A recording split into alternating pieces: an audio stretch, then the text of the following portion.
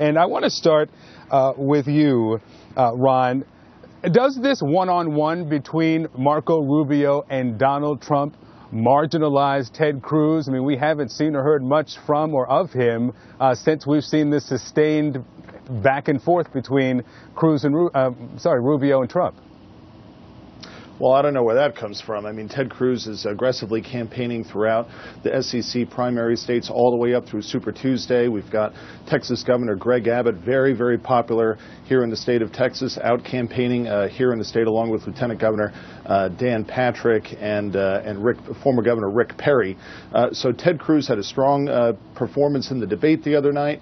Uh, he's aggressively on the ground in the key in those key SEC states, and we're doing well. We're going to win Texas. Mark Marco Rubio has this burning dumpster fire of his poll numbers back in Florida that he has to uh, be worried about. He still can't explain where he's going to actually win anywhere on Super Tuesday, much less you know thereafter. So I think we're in a very very strong position, and Ted Cruz is campaigning hard.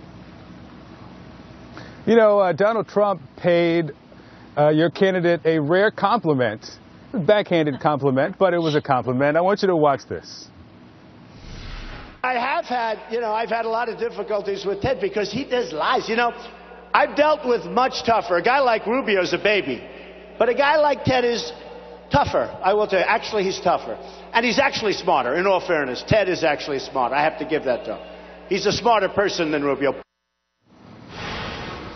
So, what do you think about that? Uh, I guess a backhanded compliment to hit back at Rubio, but Donald Trump calling uh, Ted Cruz smarter and a tougher guy.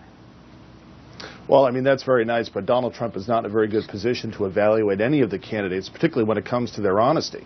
I mean, look, Donald said that uh, he's won, quote, most of the lawsuits over his uh, fraud problem over uh, uh Trump University. And in fact, the Washington Post this morning is reporting that that's actually not true at all. They gave it uh, three of their, you know, Pinocchios because those three lawsuits, uh, two of which are class action, have not been resolved. So, you know, Donald Trump is not a very good judge of anyone else's character or himself, for that matter.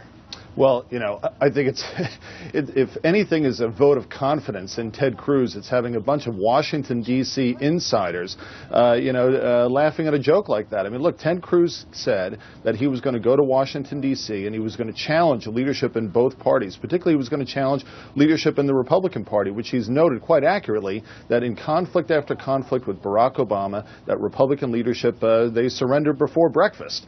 Uh, and, uh, and we've seen that to be true, and that message resonates resonates with Republicans who've been very frustrated with the lack of progress in terms of moving forward with a Republican agenda, even though we've won the House and even though we've won the Senate. You know, Ted Cruz did not go to Washington, D.C. to change who he is and become somebody else and, and try to, uh, you know, climb the ladder. Ted Cruz went to Washington as an insurgent conservative candidate, and he's remained an, an insurgent conservative leader challenging that status quo. That is a winning message that resonates very strongly with Republicans. Republicans who very much want to have someone who wants to challenge that status quo.